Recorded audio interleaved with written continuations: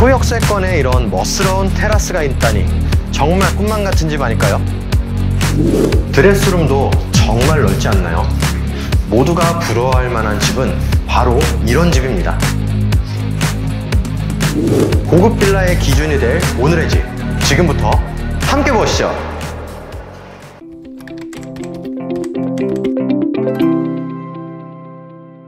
안녕하세요. S하우징 한 팀장입니다. 오늘 소개해드릴 매물은 인천광역시 미추홀구 주안동에 위치한 신축 빌라입니다. 가까운 역으로는 1호선과 인천 2호선으로 운행 중인 주안역이 약 300m 거리에 있어서 도보 이동 시 5분이면 충분히 이동을 하실 수가 있고요. 120m 거리에 초등학교도 있어서 입학을 앞두고 계신 자녀분과 함께 생활하기에 아주 적합한 위치입니다. 이 외에도 영화관, 대형 병원, 그리고 먹자 상권 등 상당히 다양한 역세권 인프라를 근접하게 이용할 수가 있어요. 주차는 해당 건물 지상 1층 필로티 주차장에 100% 자주식으로 주차가 가능하고요. 이중 주차에 대한 걱정도 전혀 없습니다. 자, 그럼 간단한 매물 소개는 여기서 마치도록 하고요. 본격적으로 내부 영상 소개 시작하도록 하겠습니다. 먼저 전실입니다. 전실은 상당히 기단한 장방형 구조로 되어 있고요. 넓은 전실 사이즈에 걸맞게 수납 공간도 상당히 다채롭게 준비가 되어 있어요. 와 수납 공간도 빈틈없이 꽉 채워져 있네요. 맞아요. 그리고 가운데에는 오픈형 매립장까지 준비가 되어 있고요. 하단부는 띄움 시공되어 있어서 daily shoes 간편하게 보관할 수 있고 조명도 나와요. 아 그 그래요 조명도 나오네요. 네. 그리고 제 맞은편 쪽으로 일괄 소등 스위치가 있는데요. 스위치도 터치 방식으로 아주 고급스럽게 시공이 되어 있습니다. 이거 실용성에서 꽉 채워져 있는데요. 꽉 꽉 채워져 있죠.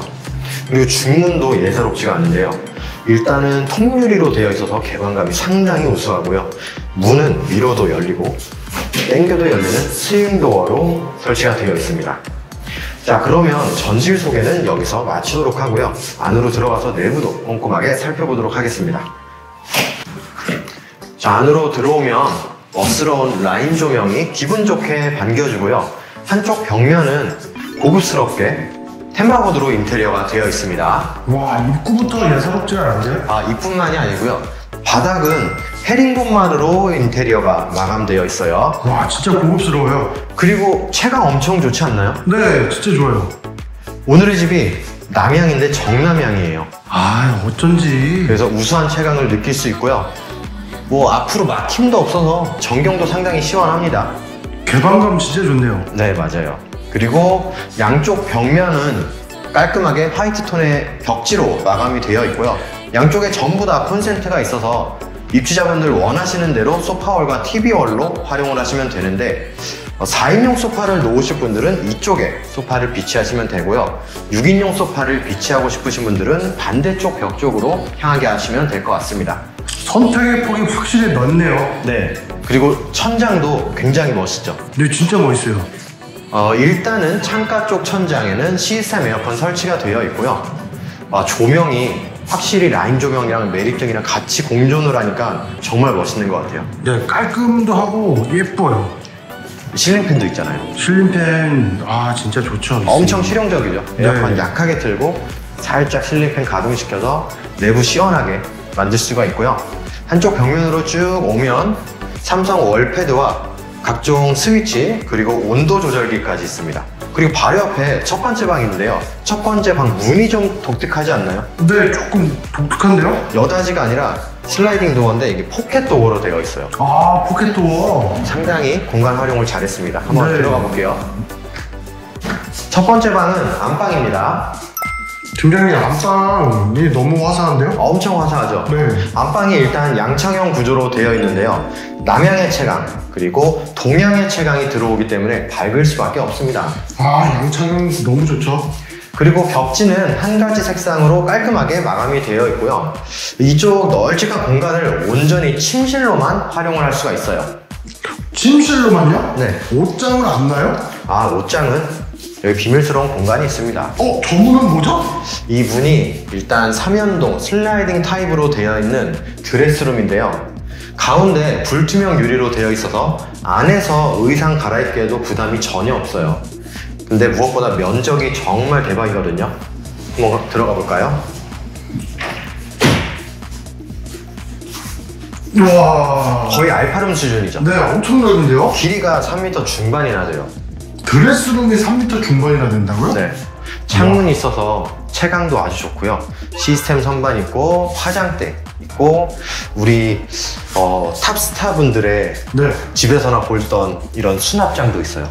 이야. 아니, 여기다가 네, 금고 하나만 더 있으면 그냥 활용 점정을 찍는 것 같아요. 맞아요. 네.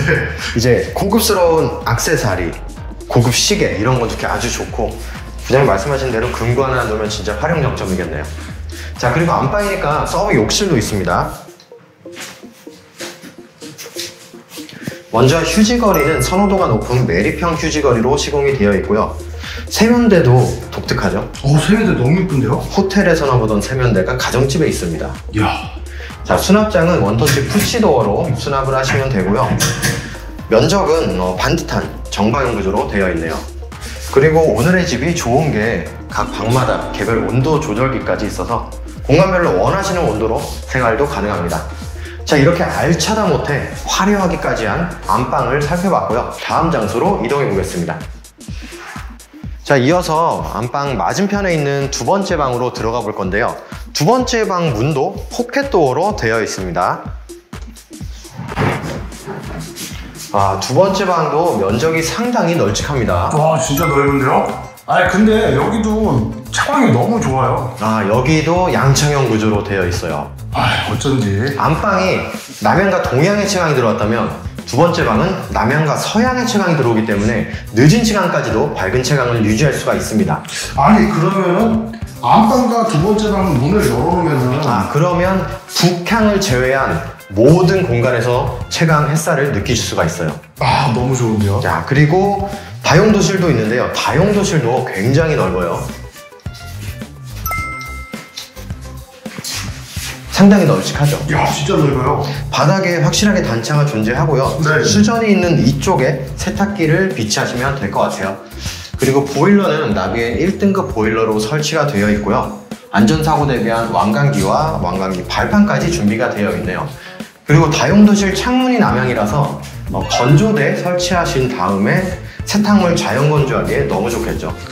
완벽합니다. 네. 옷방부터 침실까지 정말 다양하게 활용할 수 있는 두 번째 방까지 이렇게 살펴봤고요. 이어서 바로 주방도 살펴보겠습니다. 자, 주방의 바깥쪽부터 설명을 해드릴게요. 바깥쪽은 아일랜드 식탁으로 활용을 할 수가 있는데요. 와, 독특하게도 한쪽에 보조 싱크볼과 보조 쿡탑이 있고요. 그 옆에 스마트폰 무선 충전이 가능한 충전기까지 있습니다. 와, 완전 탐나는 아일랜드 식탁이네요. 그쵸? 네. 근데 수납 공간도 굉장히 다채롭게 준비가 되어 있어요.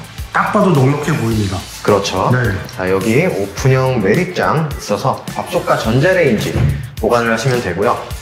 안쪽에는 pantry장까지 있습니다. pantry장이요? 네. 굉장히 실용적으로 주방용품 수납을 할 수가 있어요.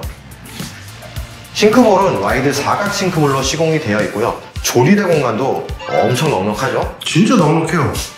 창문이 있어서 주방 공간에 환기도 걱정이 없고요. 요리는 하이브리드 방식이네요. 두 구는 인덕션으로 되어 있고요. 한 구는 하이라이트로 되어 있습니다. 그리고 위에 아주 고급스러운 tilted 후드까지 함께 설치가 되어 있고 아, 냉장고 자리까지 크네요. 아니, 오늘의 집은 주방마저도 개방감이 우수해요. 네, 부족함이라고는 단 1도 없는 완벽한 주방이고요. 자, 이어서 세 번째 방 마저 살펴보도록 하겠습니다. 자, 세 번째 방은 완벽한 정방형 구조로 되어 있고요.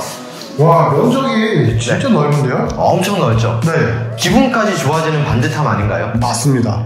어린 아이들의 침실부터 성인분들의 침실까지 활용을 하기에 아주 적합해요. 천장에는 시스템 에어컨이 설치되어 있어서 무더운 여름에도 시원한 생활이 가능하고요. 한쪽 벽면에는 대기전력 차단이 가능한 콘센트 그리고 그 위쪽으로 조명 스위치와 개별 온도 조절기까지 설치가 되어 있습니다. 자 이렇게 해서 세 번째 방까지 살펴봤고요. 하부층의 마지막 공간인 메인 욕실 바로 살펴보겠습니다.